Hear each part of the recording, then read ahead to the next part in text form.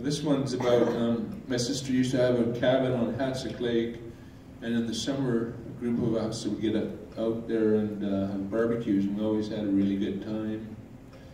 And sadly, one day I was thinking about, about the past there, and I realized a lot of these people have passed away. So I wrote this poem, and it's called Gone Away. I remember laughter, how it would fill the room.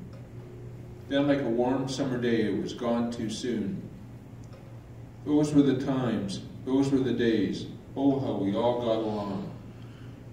But like they say, you don't know what you've got until it's gone. One day I just looked around, and there was nobody left to be found.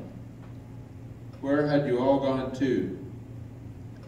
I called your names. When no one answered, I knew.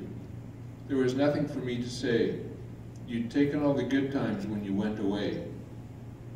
How could you be here today, gone tomorrow? I couldn't see the answers through the tears of my sorrow.